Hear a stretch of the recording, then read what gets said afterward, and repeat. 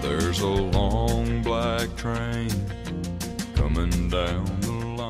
Terre, sapori e vini ancora con voi amici cari, i nostri viaggi, le nostre avventure e gli aggiornamenti. Abbiamo raggiunto nuovamente il Piemonte, il comune è quello di Asti, ma siamo in frazione Monbarone. Al mio fianco una bella signora che si chiama Mara Bione. Mara, noi abbiamo raggiunto un locale particolare quest'oggi perché qui c'è una storia, c'è una cornice, un'atmosfera, insomma si chiama Osteria dei Binari. Dove siamo arrivati? Siamo arrivati in una stazioncina ferroviaria che fu inaugurata nel 1912. Dai, pensa che meraviglia. È stata stazione per tantissimo tempo. Sì, stazione per tantissimo tempo, fino a sette anni fa passava ancora il treno che fischiava e ci salutava. Hai visto? Invece ora il treno non passa più, però voi, tu e Claudio, se ho ben capito, che cosa vi siete inventati?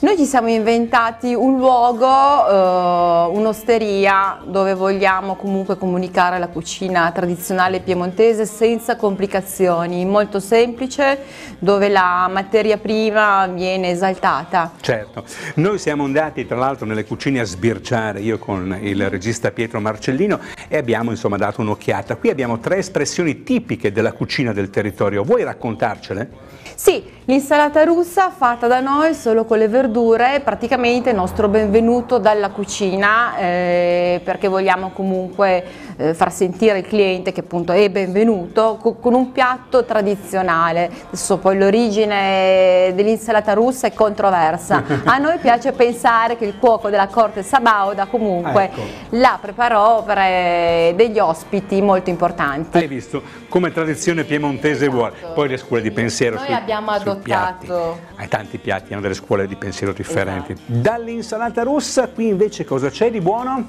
Qua abbiamo la nostra fassona, razza piemontese, la grande fortuna di avere un macellaio dietro casa che ce la fornisce in maniera molto tempestiva. Ho visto il Claudio batterla rigorosamente al coltello, eh? Sì, sì, sì, la battiamo al coltello, è un, Non è un macinato.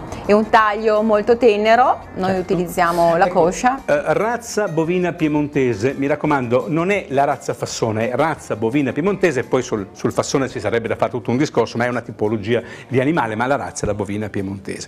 Altro classico è il carpione. Sì, altro classico è il carpione che è praticamente un piatto molto estivo quando specialmente fa particolarmente caldo.